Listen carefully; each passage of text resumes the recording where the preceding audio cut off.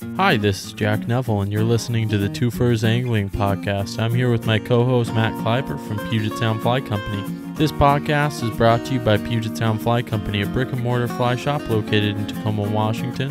For orders, please call 253 472 2420. They mail all across the United States. And Two Firs Angling, a Washington based fly fishing guide company with the idea to not only help you catch fish, but teach you how to be a better angler.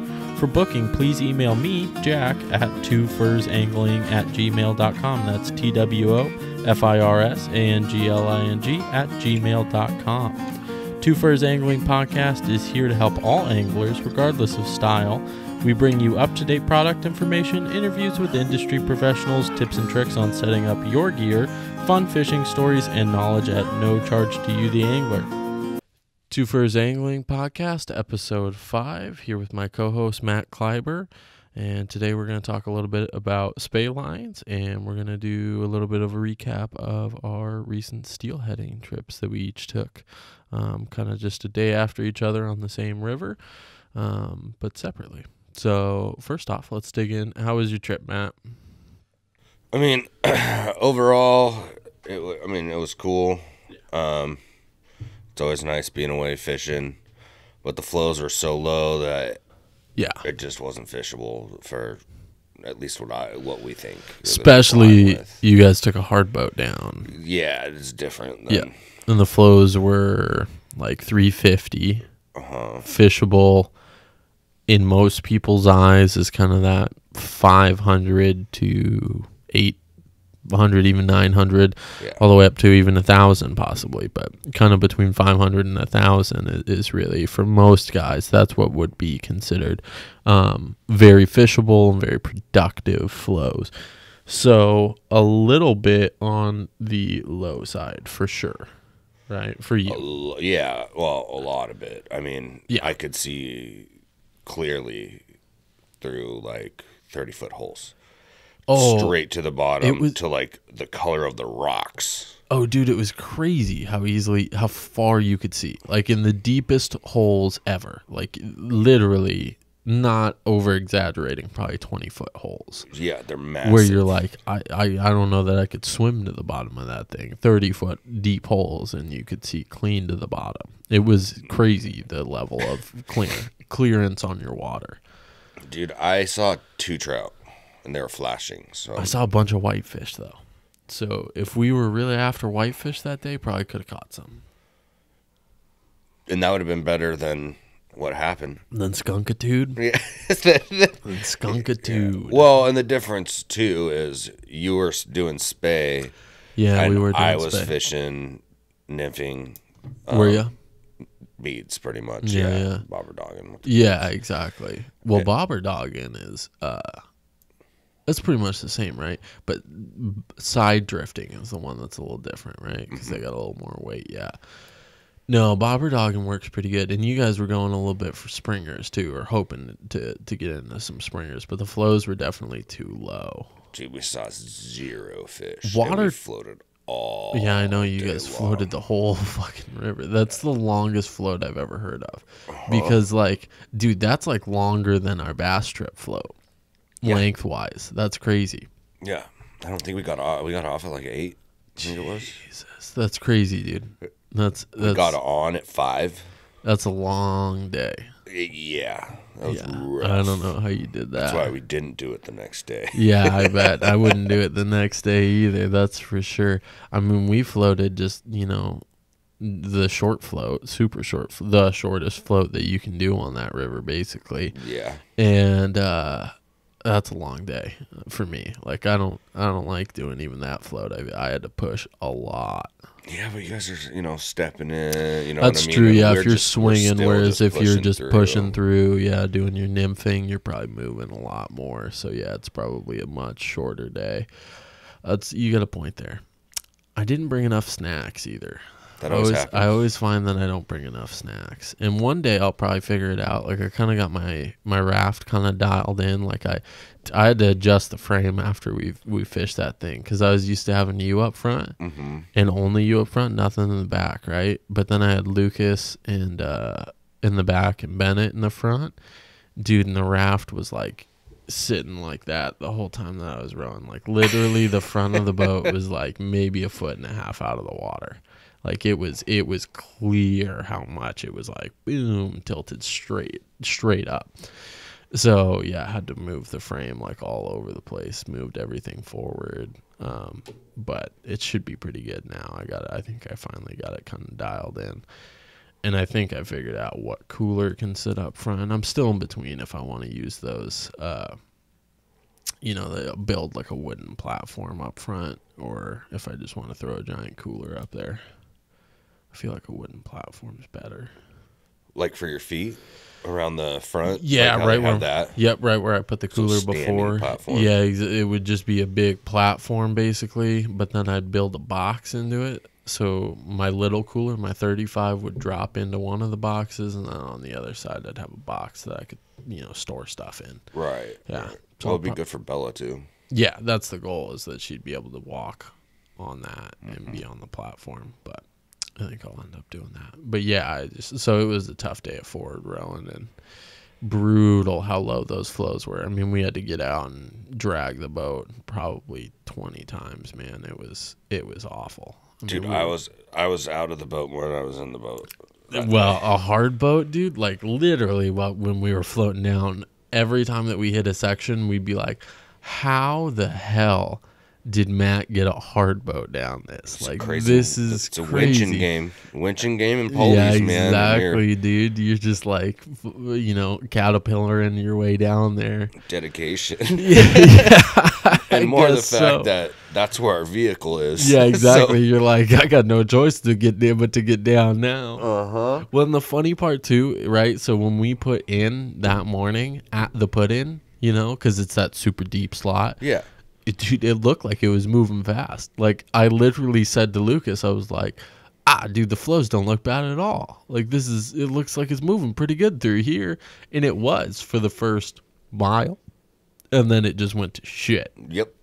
Yep. and it's just like super wide gravel bars that are like with two inches of water flowing over the whole thing and i'm just forward rowing trying to build up momentum to get as far onto this gravel bar so we don't have to push that far as i can man it was brutal yeah. Yeah. I mean, I. It's always a good day up there. It's pretty. It's you know. it uh, definitely is you're you're out in the the forest so you can't complain and anytime you're on the water is more fun than not but It would be nice to like. At least you guys saw fish.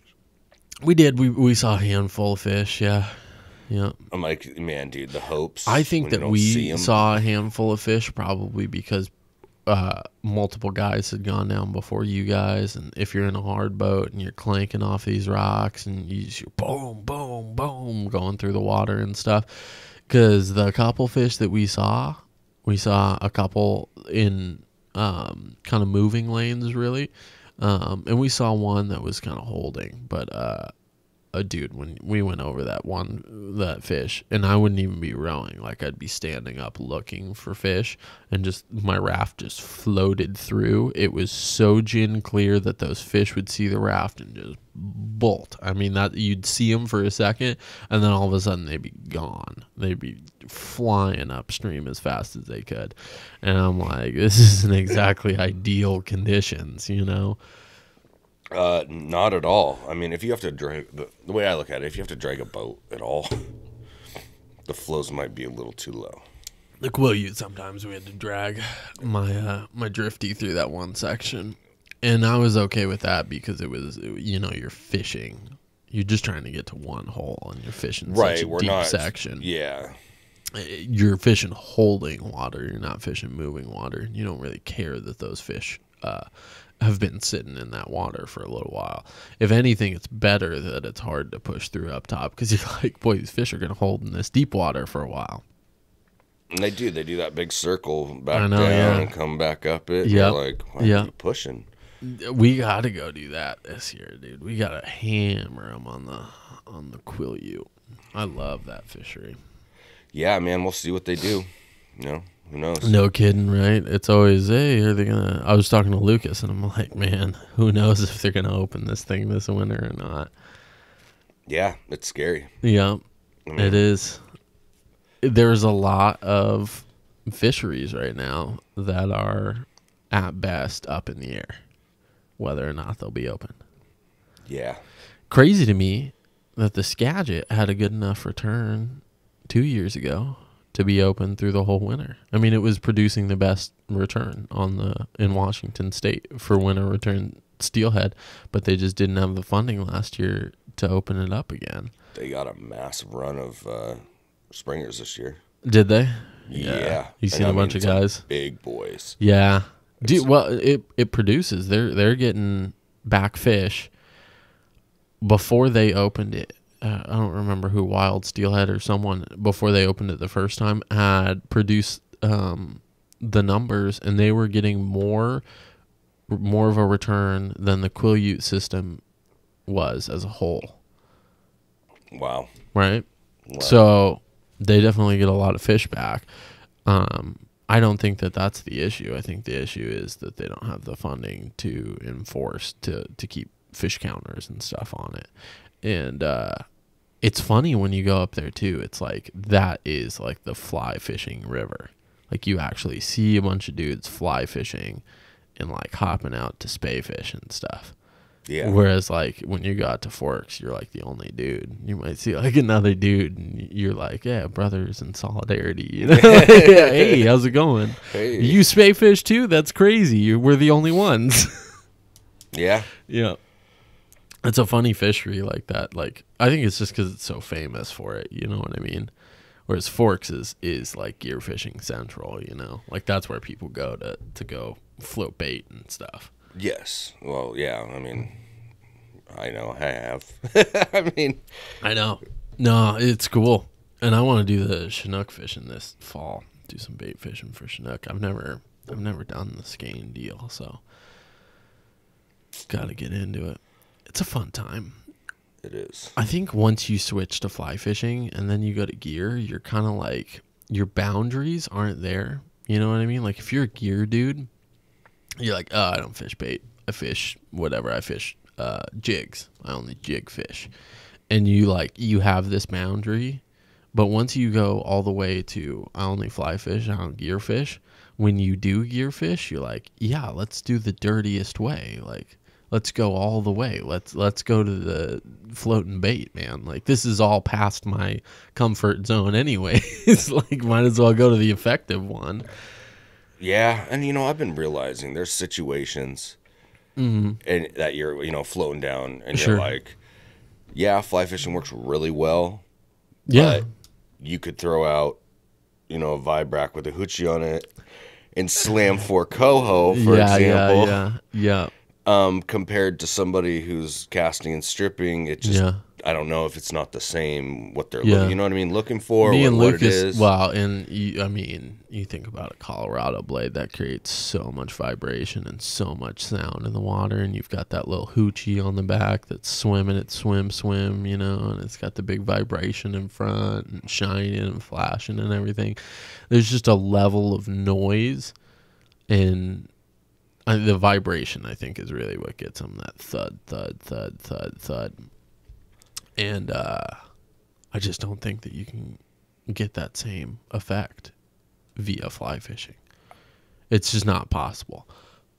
There are lots of situations though where I think where fly fishing works better. You know, low water conditions and stuff. Throwing a like I throw that coastal quick shooter for coho in the in the so that way it's nice and clear up front and you can fish those little woolly buggers to like holding fish and stuff. Gear guys can't catch those fish. no. And you can on a fly. You can crush them on a fly easily. I mean, it's really not hard to catch those fish.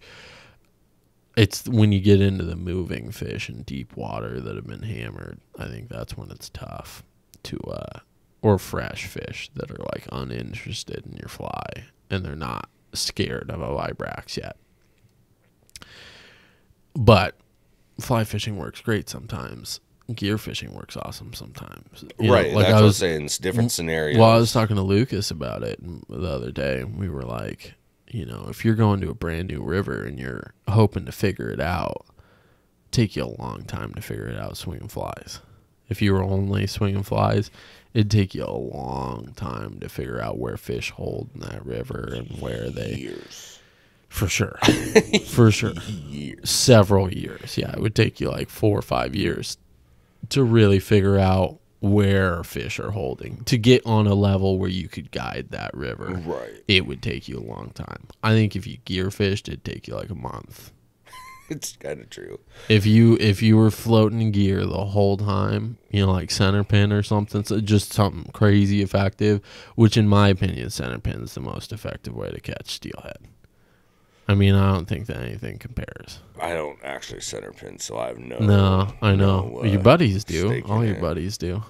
Yeah, but I harass them for center pin. so. yeah, you do. You harassed me very heavily when I was into center pinning. Every time, What? I just dude. It's like I say, your buddy's not your buddy if he doesn't harass you. it's true. Yeah. If your buddy's not giving you shit for something, probably everything that you do, like f- literally everything. If you're breathing and your buddy's not giving you shit for it, he's probably not that great of a buddy. Uh, so, Yeah. you know where me and Matt stand. If you come fishing with us, you're going to get heavily harassed. Oh, always. It's what, it's, what, it's what you need. Some people just need it. If there's not some friendly shit talking going on between I and Matt and the other person who's fishing with us, then the fishing trip has gone horribly wrong. Right. Yeah, exactly. Right. So, but I agree with him. I think Lucas is right in the sense that if you're looking to figure out and learn a river, if you got some buddies who are good at gear fishing, it's not a bad choice to float the river with them and let them catch some fish. And you're like, okay, because if you float gear through four times or whatever through a run, you're like, okay, there is or there wasn't fish there. You know, if you caught something, there was fish there. If you didn't catch anything, there's probably not any fish there. Whereas if you swing through, you're like, nah, maybe there was a fish there. I really don't know. Yep, I Maybe no he just idea. doesn't like my stuff. Maybe I wasn't getting down to him. Maybe, you know what I mean? There's so many variables. It is swinging is by so very far the most difficult way to catch steelhead. Like it's not even close to gear to, to gear fishing or even nymphing. It's so much mo- harder to catch fish swinging than it is nymphing that it's crazy. Well, it doesn't help when a vast majority of spey guys like to stand in in one hole Oh, and singly gosh. only fish that one hole for their entire day. And there's this whole river that they Yeah. could be stopping at. if you're spey through. fishing and you're not constantly moving to find fish, you are doing yourself such a disservice that it is insane.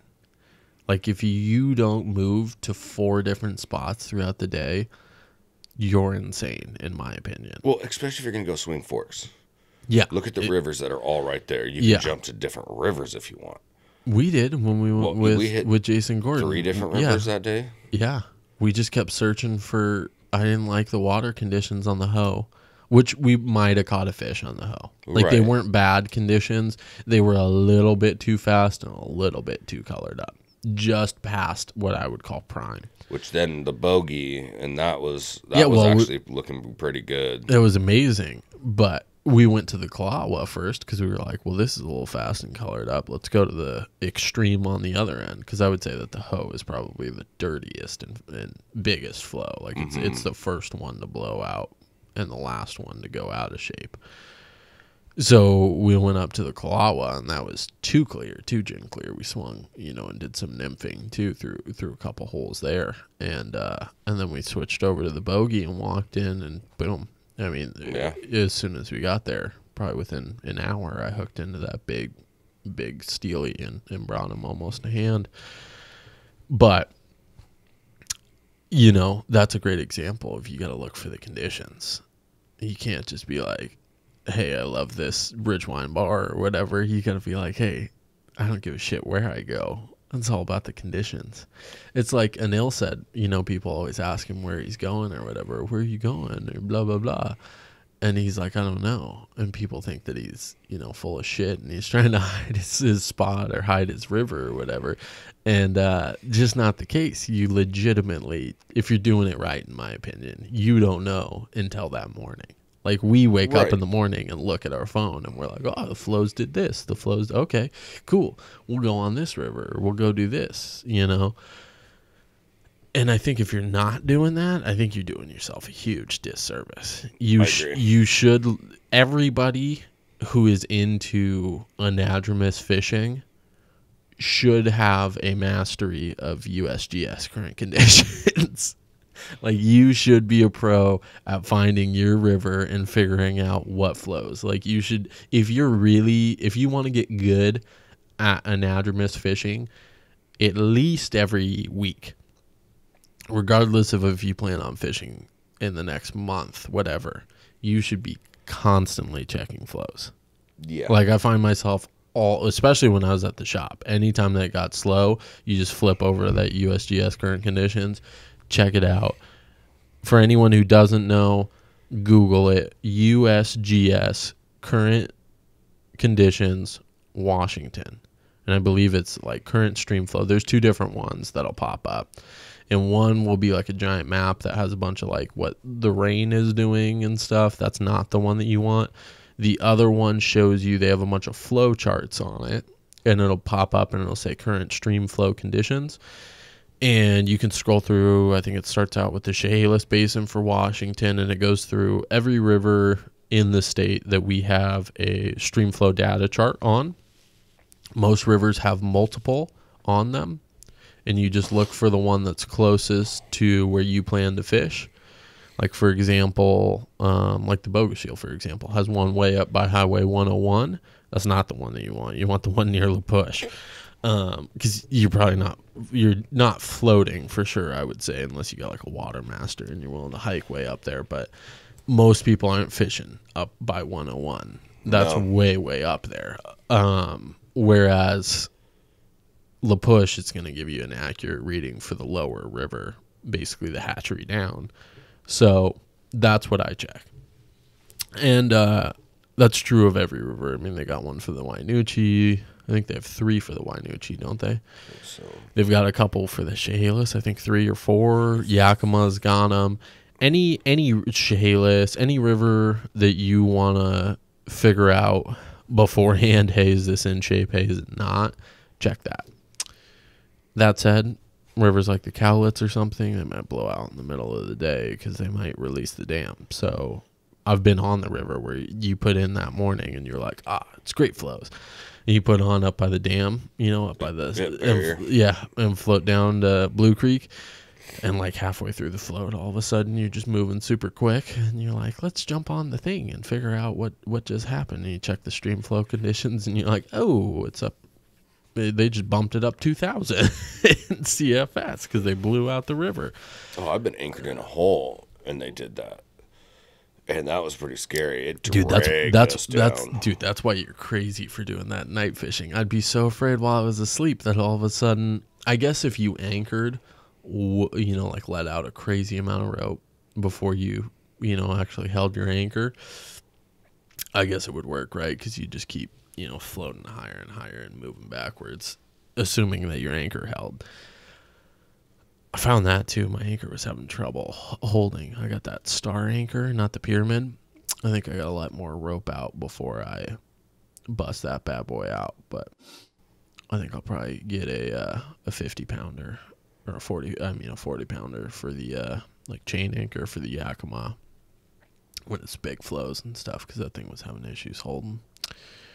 But it was a killer trip for me at least. Um, interesting to see the river at, tho- at those flows when it's low like that. It's just, it, I think for anyone who does have a boat, not if you have a hard boat, but anyone who has a raft or something like that, Watermaster, um, and if you have a hard boat, you should walk in. Whatever your favorite river is, you should continually push to lower flows. Like keep float it when it's when the hose, you know, crazy low flows. When the hose, you know, way way down. If you can float it, float it. Figure out what the lowest flow you can float that river at is. And same is true the other way. Figure out push your limits in terms of what the maximum flow is, and then you have a really good idea of what flows you can float it. Like, hey, I can float this thing all the way down to 400 and I can fish it all the way up to 1500. That gives you a good idea, you know what I mean? Or like when the when the Hoh is at 800, try and float it, you know? Um, not if you have a hard boat again. Don't float the Hoh at 800 if you have if you have a hard boat.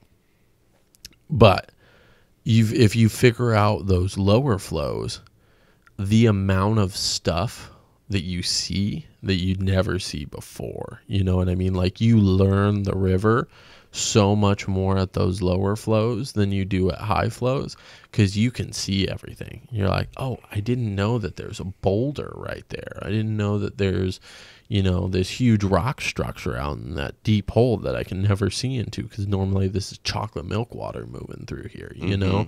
And so you you learn about specific holes in particular, especially on rivers that don't change that much, like the Calawah or the Nooch or something like that, that's not moving large, largely like the Hoh is. You know what I mean? The Hoh could be totally different year to year, so that that's a tougher one. But if you're floating the Sol Duc or whatever, it's not going to change that much. It might move a little bit, but it's it's really not going to you know what I mean? Like log jams might change or something, right. but it's not the river itself isn't moving. Whereas the Hoh, you can be standing in a spot that is now dry land that was the center stream last year. So, yeah. you know, but I think if you float at those low flows, you learn so much more about the water that you're going to fish that it is exponentially. I mean, the, your knowledge grows exponentially when you start doing stuff like that start mm-hmm. pushing the limits on both ends because you you just figure out so much about the water at higher flows you figure out where the, the main currents are and where the fish like to hold at those higher conditions um, and vice versa at the low flows you figure out where the deep holding spots are and, and you'll learn a lot there too so i think it's it's worth it for people to go. You know, don't just go when the flows are perfect. Obviously, go when the flows are perfect because you're probably going to catch the most fish. But, you know, if the flows are low, you should go. And if the flows are low and they bump at all, you should definitely go. I mean, that's prime time. And if, if when flows are really low, that means that fish are stacking up in holding spots. Right. Waiting to push forward. And then when you get that bump, they all push and so if you're there when it's low and then it bumps, you just caught that big push of fish up the up the river because they're all, you know, stacking up. And then as soon as the flows get high enough for them to push to the next section, they will. You know, if you get a get a big push of rain or if it's a dam controlled river, they finally let the flows go. That's the time to be on the water. That's for sure. Mm-hmm. So you know, I, I think that that's worth it. Let's dig in a little bit now on some spey fishing stuff. Let's talk about our spey setups. So, when I did my trip, I was using a, I think it's a 11 foot six, I believe, is what all those spey rods are from, uh, or switch rods are from Redington. But it's a uh, five weight, 11 foot six, five weight switch rod from Redington, which is a little bit on the lighter side than what I would recommend for most people. Um, most people for summer run stuff, I'd recommend a six weight or seven weight, but I like that lighter rod. I just happen to have it from pink fishing, and so I was fishing that because we were floating a little bit tighter water, especially at those low flows. So I didn't need to huck it really far like I do with my 7130X. Um, so I was fishing a SA Spey light on that one and throwing a poly leader. I think it was a slow sink poly leader off the front. Um, and that's normally what I fish in the sound. That's really why I was fishing that. Ideally, I guess ideally at that flow, I'd probably have a Scandi on the end of that thing. Um, but I do like being able to get slightly down with that, you know, slow slink poly leader. Um, and for those who don't know, if you don't have a Scandi set up and you have like a floating compact Skagit of some kind, you can you're not going to turn it into a Scandi, but you're going to create a lot more delicacy by using a poly leader on the end. Cuz that it's a more aggressive jump between thickness to a, a taper than what a, a true Scandi would be. Like a true Scandi is like a giant tapered leader. It, it does a really good job of getting from a really fat section at the back to help you get that load all the way down to a really skinny section. It just kind of continues that. And then you normally throw like a nine foot or a six foot tapered leader at the end of that. And you're continuing that kind of taper all the way down. Um, so that's the idea of a Scandi. So you can kind of recreate that by using a poly leader on the end of your Skagit. It's not as good, right? Like you can you can tow a boat, right, with your Honda SUV, but it's not as good as an F150, you know, and the same is true with with spey lines in general. I would a Skagit line is a lot like a truck. It's meant for throwing junk, right? Like it's going to turn over huge flies, big heavy sink tips. Like that's the whole point in the Skagit line. That said, super clunky, gets blown by the wind a lot, splashes down on the water. I mean, it, it lands heavy on the water. There are things that you can do to mitigate that, like casting slightly downstream. It doesn't land as hard on the water. Throwing it in at kind of angles helps. It doesn't land as hard on the water. There's a bunch of things that you can do to, uh, you know, help it land on the water a little bit easier to get away with a Skagit line, like Mike does. Mike McGovney, who works at Puget Sound Fly Company, super badass with the spey. Yeah. Spey rod. Like, Yeah, he's your guy. ridiculously good with spey fishing. Does not fish a Scandi. Sw- almost exclusively stays to compact Skagit lines.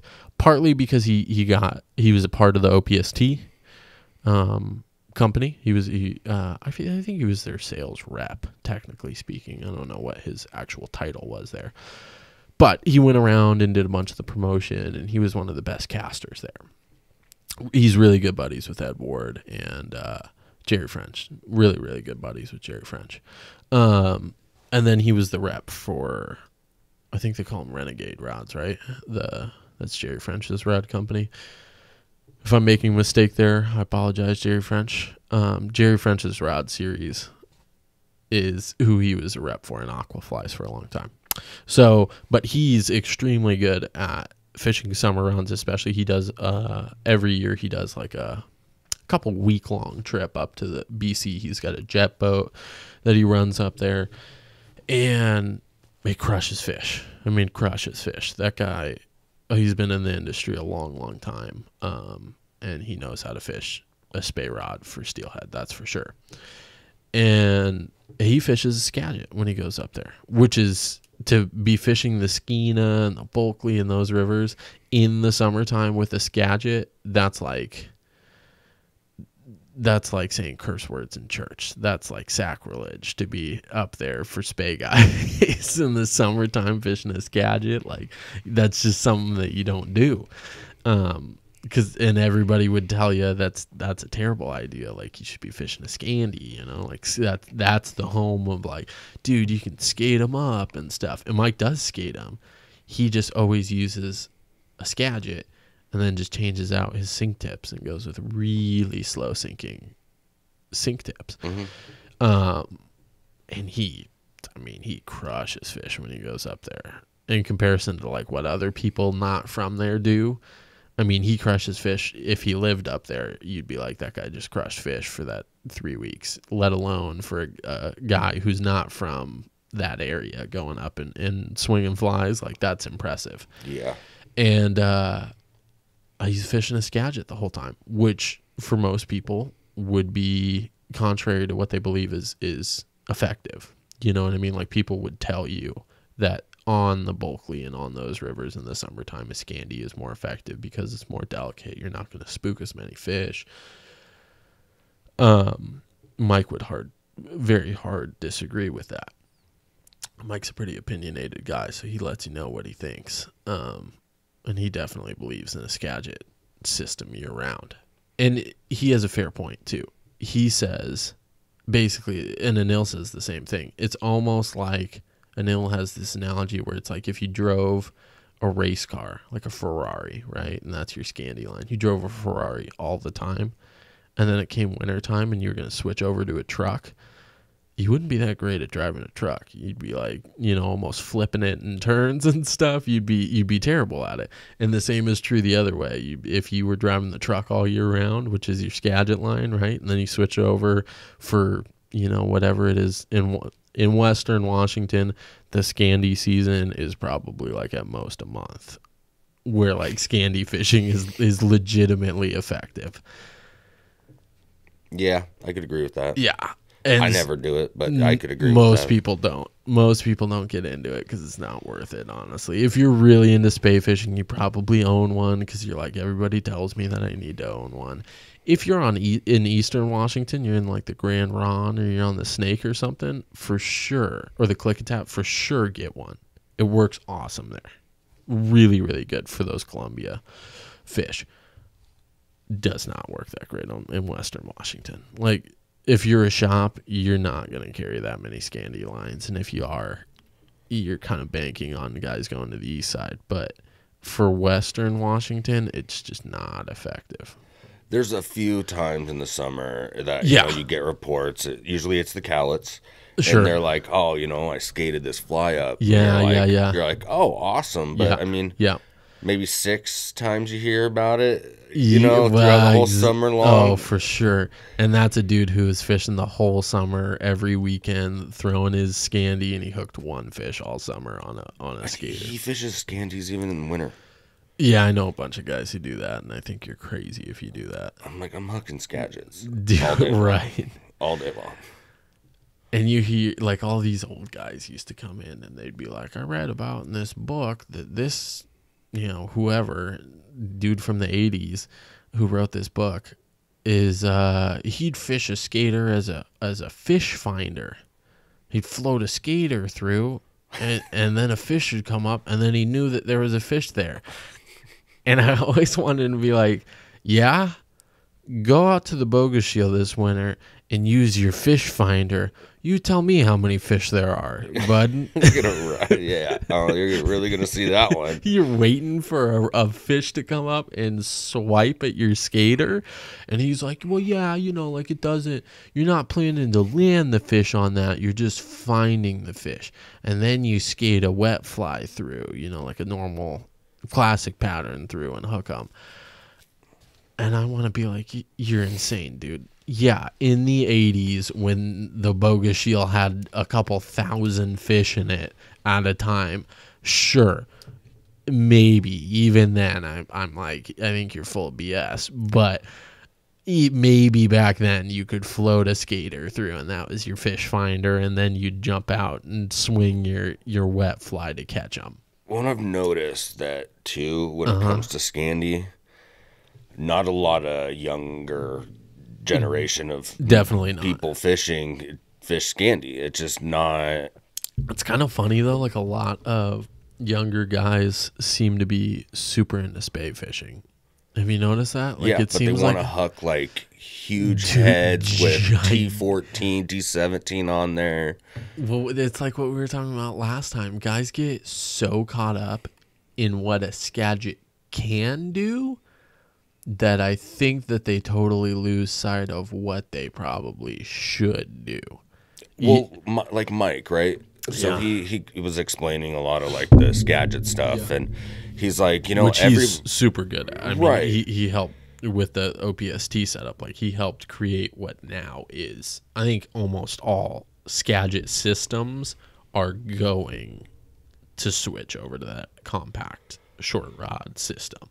And the way he he kind of explained that too was he he said you need to fish 10 to 20 feet from you. Like your first cast you need to work that inside slot next to you. Look at the water read the, The water amount of and people- work your way out. that just skip over that and just start hucking mega and oh you're i can like huck 100 feet. Look. Yeah It's like, you're that's like pretty. you- well it's like sandstrom sandstrom was down on the Deschutes, i think he was saying and he was like just getting his head out he was telling me. Like just you know doing his roll cast to get his sink tip out of the guides and he didn't even have his whole skagit head out and he he's you know just letting it swing through because he's like might as well i gotta get this whole thing out you know first gas yeah just dumps one out, boom, fish on.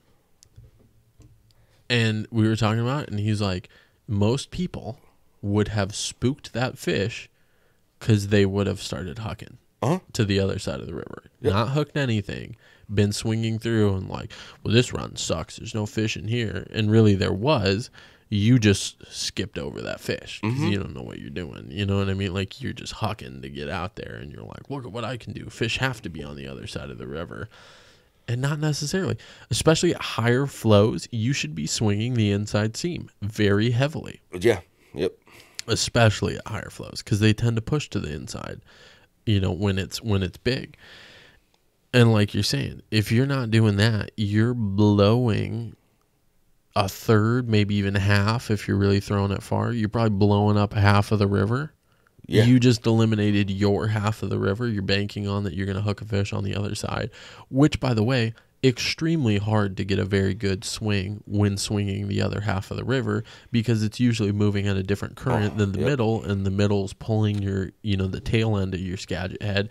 And for you can't see if you're listening, but you get this kind of big reverse C, like the the you know curve of the sea is facing downstream in your line and then it whips your fly through there and it's going by so fast that the, that's why you're that's why you upstream men people everybody i see bait fishes so many people are guilty of it throw the cast in and as soon as it hits the water they mend they throw like this huge upstream mend and I'm like, do you even know why you're doing that? Like, are you just doing it because you think that that's spey fishing? You're like, yep, YouTube, man. it is. Guys just don't know what they're doing when they're mending.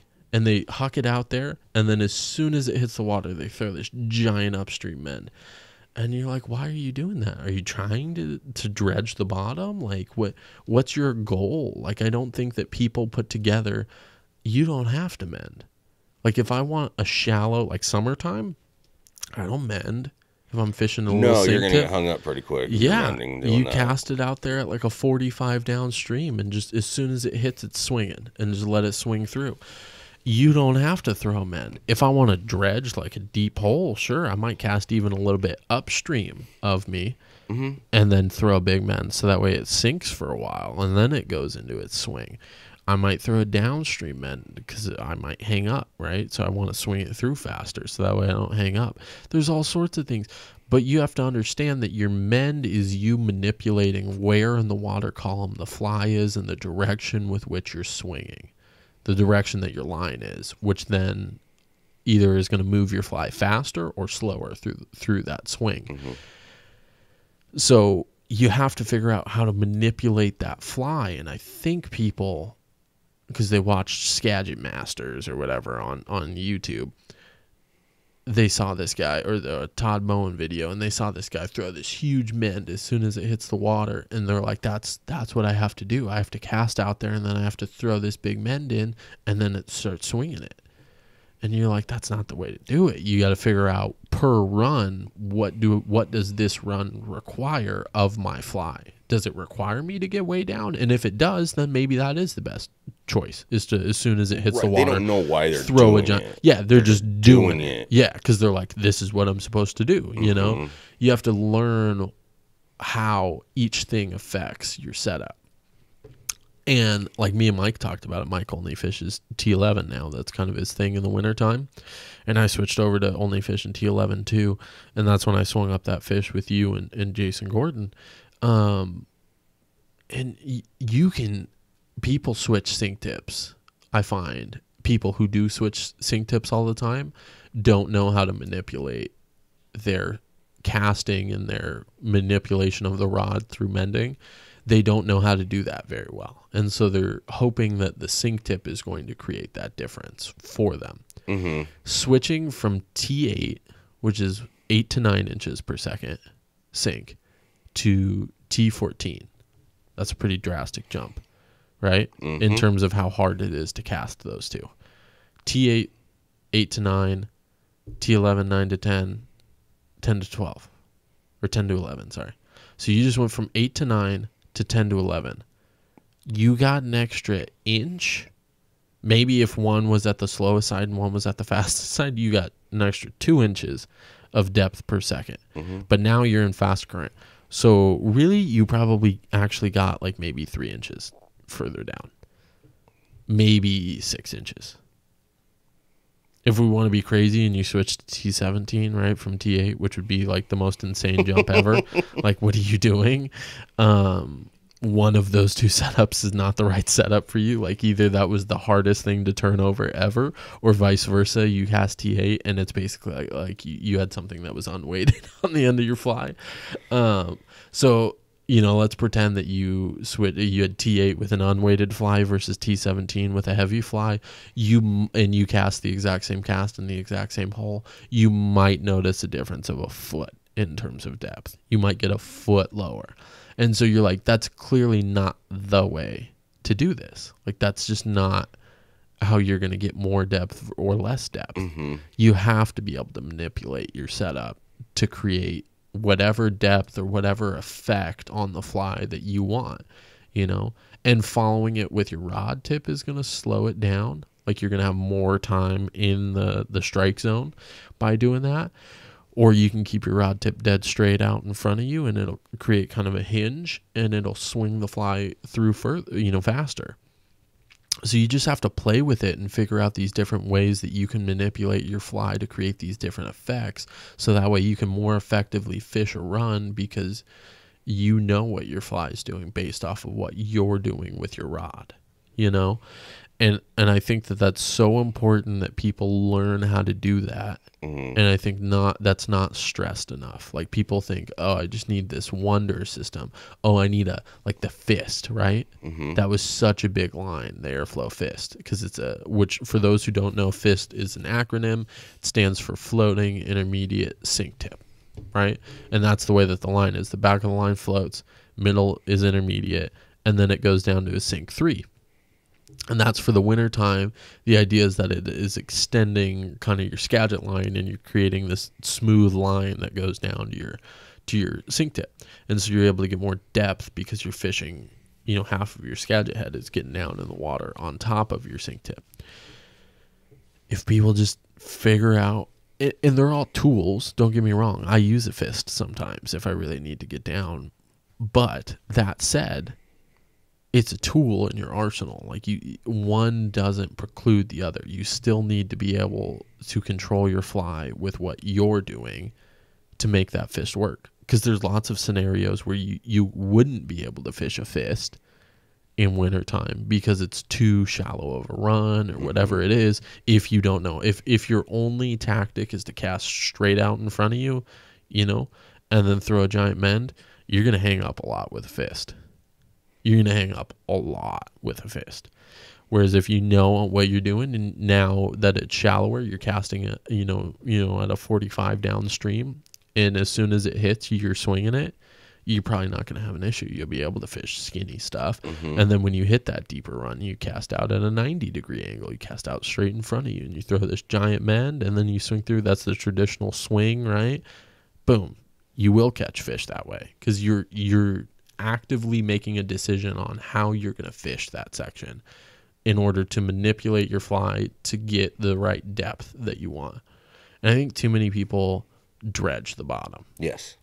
Too many people get caught up in like, yeah, I got to feel it tick, tick, tick, tick, tick, tick, tick, tick, tick on the bottom, you know, like bouncing off the rocks. Mm-hmm. If you've ever seen a steelhead in the water, they're not, you know, just nudging their nose in the ground, waiting for something to come by. They're looking up you know they're probably six inches or so off the bottom and they're looking up and they're probably willing to come a foot two foot off the bottom to come eat your stuff. So really you shouldn't feel the bottom very much. Maybe once in the in the skinny stuff you should feel it. But if you're fishing a deeper slot you know like a four foot deep hole you really shouldn't feel the bottom. You should be swinging through that middle current. That's your ideal place because if a fish is riding higher it's going to see it. If it's riding lower it's going to see it because they're looking for the food, right? The food's coming through in the middle current where it's quick because they're little bait fish or they're a little, you know, scud or whatever it is. And they're looking in that middle current because that's where weak fish get pulled into, is where the current's fastest. So you just got to know how to manipulate whatever your setup is to perform the way that you want it to perform. You can get away with fishing a Scandi or a Skagit in sections where you might, might not normally fish it, you know, it's probably not the ideal setup in that scenario by manipulating your stuff, you know, and then you can get different performance attributes out of that setup. But that said, you don't use Scandi, right? No, Yeah. ever. I'm just not personally me and my casting style. Scandi's Yeah, not you do me. have a very like uh I push. yeah, you got an aggressive casting Yeah. stroke where you like very uh like powerful and then you like stop for a second and then you like power it again. It's not like a slow fluid thing, which you definitely need to be like kind of slow and fluid with a Scandi for the most part to, to make it work. It's it's Scandi is definitely a lot harder to cast than a Skagit setup, in my opinion. Touch and go casts are just they're they're hard to do to get good at. Like to be able to do a snake roll and be able to do a, a single spey and stuff and not thwap yourself in the back of the head when you do that single spey because you didn't get the fly far enough upstream. Like to be able to do that is hard. And so for most people, it's just not a uh, it's not a reasonable way for them to fish. If you're having issues with your Skagit line, do not switch to a No, Scandi no, that's like not you gonna need make to be life yeah you need to be good with the Skagit line and with the invent of like the rage compact system and like the spey uh, more compact scandies it's gotten a little bit easier. Like you can get away with doing touch and, or uh, sustained anchor casts i mean with those systems. You can do a snap tee or a perry poke or whatever with a with a rage head and still huck it out there decently. So that definitely helps people kind of get get into that system and you can mm-hmm. still throw very light poly leaders on a on a rage system very well. So you know it, it extends your ability there and a rage system is great but i think more people would be better they would get more benefit if they learn how to control their fly through manipulation of the rod than just hoping that the line in the sink tip is going to do the the mm-hmm. solving for them. Yep. You know, like th- they need to figure out how to how to create that manipulation first with themselves, and then you can switch to all these different lines because then you really get the benefit of the lines. You know what I mean? Like there is a place in your arsenal for every type of line that's made, really. Yeah. Scenarios. Yeah. There's just there's conditions where throwing a sinking Scandi is really cool. Right? Or throwing a, a sinking Skagit line or a floating Skagit line or a floating Scandi. Like there's scenarios where all these things are the best option and they are a good tool to implement. The majority of time in Western Washington, fishing for anadromous fish, you're floating Skagit. I would say Mm-hmm. 80 percent of the time your floating Skagit is the go-to, and I would say 95 percent of the time you can get away with the floating Skagit. It might not be ideal for that 15 percent of the time, but you can get away with it just fine. I would Oh, say that that's where those tips come into play. You know yeah, what I mean? being able to manipulate your stuff and, yeah. and changing out tips to very slow sinking tips, poly leaders, even stuff like that. That's where that comes into play. Yeah, you don't have to throw 10 foot of T material on the end of your Skagit line. You can throw a, a salmon steelhead poly leader. You can throw a MOW tip that's mostly floating, two and a half sink or whatever, or even a full floating MOW tip. You can do all sorts of stuff in order to manipulate that setup to perform the way that you want it to perform. Yep. And that's something that you go into your shop and you talk to those people about. Hey, I'm fishing super low water, but I still want to use my Skagit. How can I do it? And they'll help you. They'll help you figure out whatever system it is to kind of extend the life of your Skagit. Mm-hmm. That said, for the most part, what are you using? Um, what's your what's your go to spey setup right now? You're 8120, right? It's Your X? 8120 Sage Yeah, X. And yeah. then, uh, yeah, man, I, uh, let's see, I stick between like 575 and 600 usually for my Skagit. Yeah, yeah, on that six weight. Yeah. What are you throwing on there? Skagit Max? Uh, Or is it the short? No, well, yeah, it's a Skagit short now. So I Skagit Max started with the Skagit long. definitely not the way to go on that 8120. I don't. I mean, some guys like longer skagits. I don't think so. I just kind of worked my way down to what I what I needed. You know what I mean? What I thought was best. And for those who don't know, just a brief history of Skagit Line. Skagit Line starts up on the Skagit River here in Washington by a group of guys, basically. Um, at that time, like early 90s, a 9140, meaning a 14 foot nine weight, is probably the most popular rod being sold. And like a 50 foot head, a Rio WindCutter is probably the most popular, but that head in particular is about 50 feet and they sold tips that went on it like a tip system. Does not turn over those tips very well. If you've ever cast a Rio WindCutter on a 9140, which I have, extremely difficult to cast.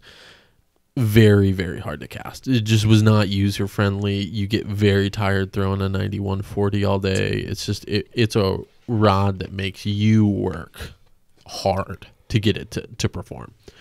And so with that, then Ed Ward and those dudes start cutting down these giant like 12 weight lines, basically in double tapers and stuff to create the first Skagit heads. The idea is that they can get shorter lines, get the same amount of power, but now turn over bigger sink tips and bigger flies. And that's the whole point in the Skagit head. The Skagit head is a short, compact line that's designed to turn over sink tips and large flies. And basically, what we've seen, especially with the advent of OPST lines and stuff, we've seen rods get shorter, which is easier on you, the caster. You won't get as much distance, but much, much easier for you. So we've seen rods get shorter, more guys getting into switches, more guys getting into basically 12 foot, I would say, has started to become the most popular s- Skagit length for a rod. So most guys are getting into Skagit rods now, you know, like the IMX Pro short space or the 12 foot Sage X's or even switch rods are very popular too, and compact spey lines. So sub 12, 20 foot basically is what I would call a compact spey line. A traditional spey line would be between 20 and 30 foot. A traditional Scandi line is between 30 and 40 foot for the most part. So Rio has three Skagit Max series. They have a Skagit Max short, which is 20 foot, Skagit Max, which is around 24, 25 foot, depending on, and that depends on the grain weight. Usually, the higher in grain weight you go, the longer the line is in that system. And then they have a Skagit Max long, which is like 27 or 28, I think, um, for the most part. So that gives you a good idea of kind of where that sits. And OPST lines, for those who don't know, kind of 18 foot and under, depending on the grain weight, they continuously get shorter. Um, and then they're, I think, the, I think they might actually top out at 16 foot now. I don't remember, but uh, and then Airflo and and SA all make their own, you know, kind of that 18, 16 foot range of uh, of lines too, all the way up to 20 foot. So that's kind of the compact series of stuff. And so Matt is talking about he's using the Skagit Max short, which is a 20 foot Skagit. Mm-hmm. So it's kind of on that borderline where it's almost a compact Skagit, but it's still kind of traditional. And then he's throwing that on a 12 foot eight weight Sage X, which I think is a good pairing. I mean, it, Oh, those it feels great. I mean, dude, those Sage, surprised. those Sage X bay rods, hawk. they do. They load really Yeah. well. Yeah. really well. Yeah. No, Geo convinced me on the on getting that seventy one thirty, and I cast it against the Asquith too. And the Asquith is amazing, super super lightweight. hmm Um, I think the Asquith is slightly more powerful, but I like the feel a lot more on the Sage X personally. Like I just like how that rod feels for me. Um, and I don't throw like I throw a little bit better with the Sage X too. So for me, I'm really into the the Sage X space, but yeah, so I fish that 7130 heavily, like really heavily. I'm super into that rod. You are super into your 8120. Um, Yep. I'm- so you're throwing that. What's your running line? Um, right now I just have Varivas. Um, Yep. For those who don't know, Varivas is a monofilament running line company. It's actually a hollowed out uh, running line, so that way it floats. Like it, it's hollow on the inside, so it floats on top of the water. That's why guys like it because you don't have to carry as many loops. For guys who aren't super into spey fishing or don't cast really far, as you get to cast further and further, you then carry more and more monofilament hanging off the bottom. And if your monofilament is normal monofilament, meaning that it sinks, or even if it floats, it gets dragged way downstream at you because you're in current, and then your line is losing energy by pulling that monofilament back up and then through the guides. So what you do is you carry loops in your bottom hand generally. Some guys do it in the top top hand. It just depends. One of your two hands on the rod, you're holding your actual monofilament that leads right to your Skagit head, and then you've got a couple loops of slack line that you then drop as soon as you cast. So what we're talking about here is Matt likes a floating monofilament line, so that way when he does drop it, it doesn't sink and get pulled downstream. It kind of stays on top. You get a little bit more distance out of that setup there are pros and cons to that. I think that that I'm not a fan of that line as much. I fished it for a while because it, it tends to coil on me really bad. Like I get bad tangles, and everybody agrees it does coil mm-hmm. badly. It does get bad tangles. It is a huge pain in the ass to stretch that line, especially when it's cold. When it's really cold in the wintertime, it's brutal. Summer run fishing, I love it. It's awesome, but wintertime stuff, it's brutal to fish. It's just so coily. And you know, I haven't found anything that's not like that in the winter. There's some that are a little bit better than yeah, others. Yeah. But I mean, the stuff that we have at the shop, the anil stuff. Yeah, yeah, yeah. Which isn't even anil stuff. I found that stuff, but I let him take credit for it. You know, that's the problem. He's just he's just such a, a big public figure. I had to throw a big name behind it. You know. Mm-hmm. That's exactly it. Yeah, exactly. Yep. Um, but that stuff is awesome. That stuff is so limp, even in the even in the cold, it's still limp. I mean, it's not crazy, but in the summertime it's crazy limp but in the wintertime even that 40 i think it's 40 pound is still pretty darn limp like it's it's very manageable it's definitely not as slick as Varivas is like it's right which some people like some people don't like how slick Varivas is it's hard to hang on to in the wintertime um which i got a pro tip one time from charles st pierre who taught me how to spey cast is to hold it, pinch it in your front finger, but then take it and go over the reel and then pinch it with your bottom hand too. And that allows you to have two pinch points and really a third with that because you're kind of, you know, causing it to go around the mm-hmm. reel and pinch on that reel too. Um, and I don't have issues anymore with losing the spey line like ever. Uh, you know, like the monofilament sliding through your fingers, which a lot of people have issues with monofilament sliding through their fingers. Usually towards the end of the day. Yeah, if it's cold out, it's hard to hang on to for sure. Um, so yeah, so I mean that's a killer setup for sure. And what are you throwing for a sink tip most of the time? Like T fourteen. Honestly, I T11? range from like about T eight, T eleven. I stay with the three. Yeah. T eight, T eleven, T fourteen. Yeah. Mainly, I have T eleven to T fourteen on usually because yeah. I just yeah. like how that feels. Yep. Um, yep. But if it's lower water, clear water, I'm throwing the T8 usually. Yeah. Um, but it just it just depends. But usually I stay with those three. That's like my bread and butter. No, I'm with you. I agree. Um, for me, I'm throwing that 7130. I think I've got a.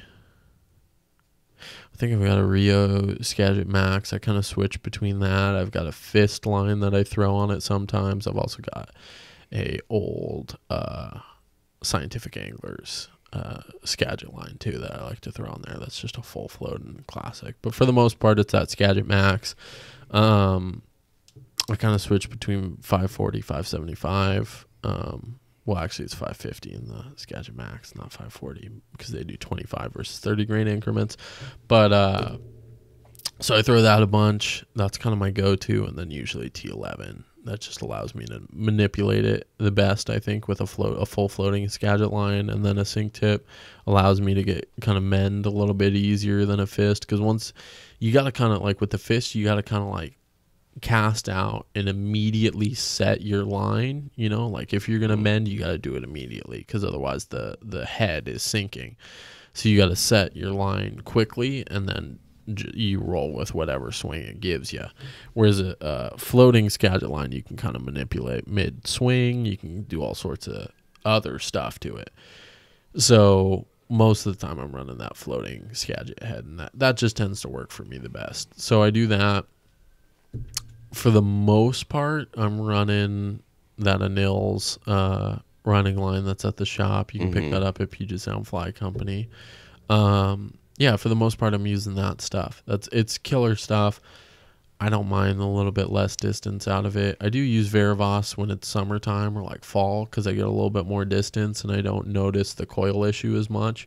Um, but sometimes I switch over to Rio's Connect Core too, and I go to the smallest size, which is the 026, which is like a 20 pound core. But most of the time, I'm running like 17 pound uh, fluorocarbon leader, anyways, so I'm not worried about it. You know what I mean? hmm Um, but I do like the Connect Core stuff, the actual like fly line style running line, because it's really thin that 026. Um, I think it's meant for trout spey stuff, but I use it anyways. I usually flip it too, so run it reverse, so that way the really thin section is at the front. Because they normally do like a bumped up section on those lines so that way like you have like a handling section they call it. I don't like that so i flip it around the other way. Um but i like how much i feel with connect core. Because if you're you're using monofilament the average monofilament has about a 60% stretch 50 to 60% stretch to it meaning if you had 10 feet of monofilament and you stretched it, it would stretch to 15 to 16 feet before it broke, hmm right? For me, Jim Kerr is the one who pointed this out to me. For me, that means when your fish bites, it has to move a ways. With you know, if you're watching your Skagit head, which I usually am, that's usually what I see first is the Skagit head move or just stop moving, Mhm. basically, and that's when I know that I have a fish. But I don't feel anything. Like there's no feel going on. Like you're not feeling a little tug. You're not feeling anything really with it for the most part with a uh, monofilament Mhm. line. And I didn't know that I wasn't feeling anything until I switched to the fly line style based off of his recommendation. So I switch over, start using the the fly line style, and it's crazy how much more you feel. Like if you are dredging bottom or something because you're fishing for chinook or something like that, like you feel tick tick tick tick tick tick tick, and you know that you're like, hey, I'm too low. Let me switch sink tips or whatever. Let me get up a little bit, and then you're swinging and you're like, dude, I feel everything. hmm Like if there if there is a tick, I feel it because there's in the connect core there's literally zero stretch. It's made with a, a braided core, so you feel like if if the fly moves at all, you feel it hmm because you've got minimal stretch at best in your Skagit head because your Skagit head's not connect core. It's it's the normal stuff. Same with your sink tip. It's the normal stuff. So like you might have ten percent stretch across that. So for me, dude, it's crazy how much more I feel with the connect core stuff. And I'm not worried about distance. I can throw pretty far. So for me, I'm like, I'm willing to sacrifice. For me personally, it's usually like 10 feet is about what I lose between Varivas versus Connect Core, going with the smallest size Connect Core. Um, so I'm like, dude, that I'll take that 10 foot loss. I don't need to cast that far. You know, I can still get out an 80 foot cast with my Connect Core stuff and a 540 head, no problem. So that's usually what I'm running in in, the dead of winter because it's super low memory. You almost never have knots with fly line style stuff, and it it hucks. The only problem is is when when you do get the twists from you know doing snap tees and stuff. Um, it can be a little bit brutal there, like because your fly line just twists up into knots. But and it, it's not like monofilament where it's easy to get out. The important thing with the connect core stuff though is and same is true with monofilament. People don't do this enough. You wear very heavily on the first 10 feet or so of your monofilament or of your connect core, whatever your running line is, you wear very heavily on it because you're doing all these spinning casts, you know, like snap tees and stuff. Mhm. You're just rubbing on that first eyelet like a big, you know, like it's just wearing down. And so every you know, I'd say for the average guy, every fourth trip or whatever, you should cut back four or five feet of your monofilament. And if it's Connect Core, which I get it, it's more expensive, and monofilament's expensive too. but your Skagit head's more expensive. You don't want to lose your Skagit head. Cut back every five feet, and if it's connect core or something, cut back every six months. Cut back five feet, and then redo a knot in your running line. You know whether that's heating it and, and remelting it together, or you can even take um, thread, tying thread, and create a loop. That's usually what I do. hmm It's really strong that way. It bites in. Um, you should constantly be redoing your loops like that, like it, it- for sure. Gary Sandstrom actually just does a clinch knot to the uh, to his Skagit head, like it's almost like the Mhm. eye of a hook. I like that too. I do that frequently rather than doing a giant loop.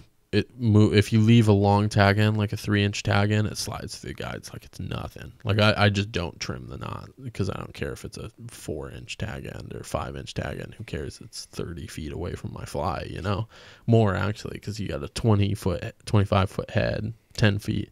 There you go. You got thirty five feet, and then I got like a six foot sink tip, so I'm almost forty something feet away from my my fly with that tag end. So I don't really care if my tag end is super long. So that's my setup most of the time. Um, but I do really like switch rods. Like for summer run fishing, especially when it's when I'm fishing a little bit closer stuff, I like switch rods a lot.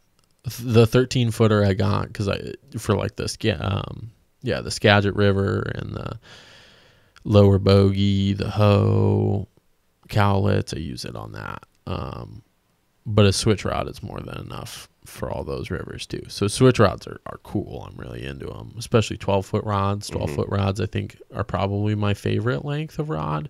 Like I think that's kind of strikes the happy medium between easy to cast, but also very user friendly. hmm You know, and still hucks for distance. Yeah, that's probably my go-to. What do you think the next rod you're gonna get is? Dude, I'm not sure. Because it's kind of never ending, right? No, like you're always not. buying, always you're always buying something. Especially when you work at the shop, you're always buying something. I'm looking at the Sage Mavericks, the new ones that they had that they came out that replaced the motives and all that. You know? Yeah. What do you? It's their new saltwater series. Yeah, yeah, yeah.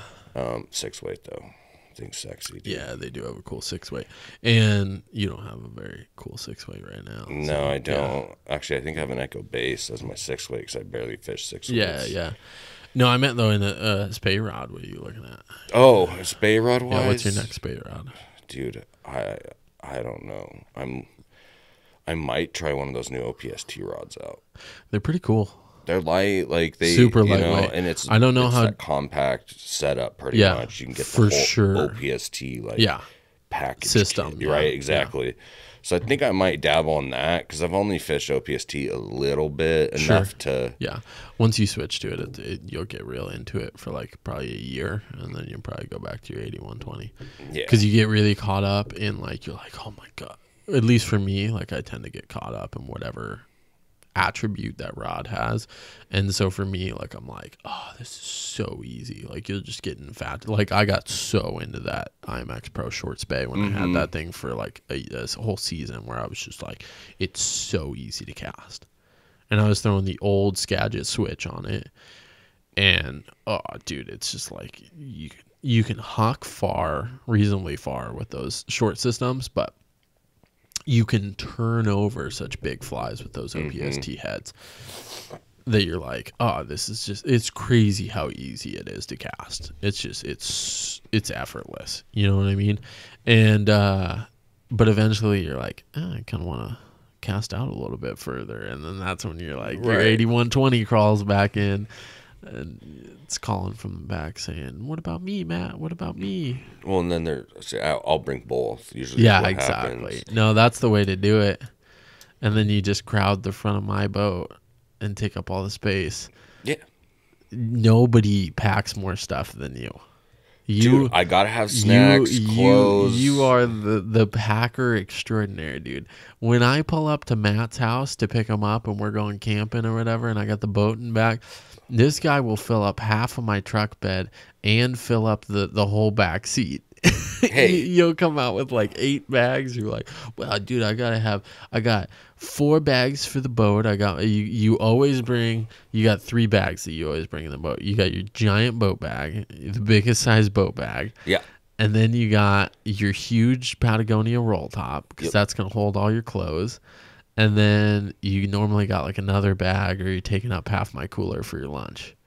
Yeah, well, snacks, dude. You gotta have Yeah. snacks. It's important. I'll give you that. You always got snacks. Yeah. Yeah, snacks and drinks. Gotta have them both. Yeah, dude, if you're in a boat and you don't bring an insane amount of snacks, like you have no excuse if you're in a boat to not bring enough snacks. That, right. Exactly. That's how I feel. And plus, if I, and especially in your raft, like I got Yeah. that front section, you know, Well, and it looks raft- bare. So My raft is pretty spacey. But if you were floating in stews, like his little pack 13, Oh, dude, I had to bring my small boat bag Dude, and my there's- small little roll top. It was there's bad. no space in that boat. When you're in the pack 13, dude, it feels tiny. You yeah, you feel like you're in a canoe, but you're sitting like way up Yeah, on right? top of Yeah, the canoe. You're like, oh, we're gonna tip. Yeah, Yeah. this is gonna happen. It's so narrow in comparison to my boat. Yeah, no, I definitely get what you're saying there.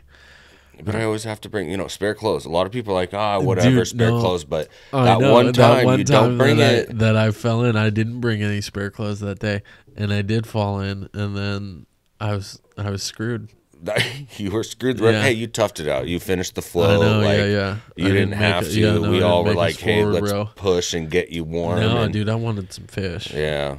And we ended up getting a couple. Yeah, we did. So, we and did. my wet body was very happy that we caught some fish. So it was worth it, in my opinion. Yes. I but agree. it was a brutal day. That made me laugh so hard when Ryan was like, "Wait, you fell in yesterday?" He's like, "Ooh, I would not have wanted to fall in yesterday." And I was like, "Yeah, dude, you're telling me." we were down. We had to float to the mouth of the Quileute, man, like where the wind is the worst. Yep. We were floating down to the, the shitty section, you know. Yeah, That was rough. I'm with you. I think I'm probably gonna get like a seven weight Sage X switch or something. That's probably my next, or maybe the NRX switch. I'm kind of up in the air. Ooh, the NRXs are pretty awesome. They are. I like the feel of them. Um, but I'm leaning toward getting a switch rod set up again. I just like that shorter rod. I had a switch rod set up for the beach. That's what I used mine for. Well, yeah, you get your three weight, which is badass. I love that three weight. Yeah, it is That awesome. little the dually three weight is what Matt's got with an integrated Spey Lite on the end of it, intermediate, and I have the same setup in a five weight because I wanted one for pinks, and oh, such a good rod for the money. You cannot beat a Redington Dually, not even close. They're crazy good. Not a fan of the new cork though that they put on them in the big sizes because they put this really soft EVA foam like mixture um, that's supposed to look like composite on on the fronts of them, and I really pull heavily with my bottom hand and, and kind of dig my thumb in on the top. And dude, like my thumb just on like Bennett's seven weight, my thumb just presses clean to the blank every time. Like I can feel the blank when I pop for it. So that's my only complaint with the rod. But otherwise, ooh, unreal. I mean, they're so lightweight. They're really durable and they cast so nice. Like when I'm fishing my five weight, I'm not like, man, this rod sucks. I'm so sad that I'm fishing a two hundred and seventy nine dollar rod. I'm like, this rod's awesome. This thing is crazy good. Especially to get in trout spey per se, like Oh, with that. yeah, thing. exactly. Like I don't, I don't fish if I, I would never buy a really expensive five weight switch rod because I use it a handful. The majority of the time, it just sits in my garage. Right.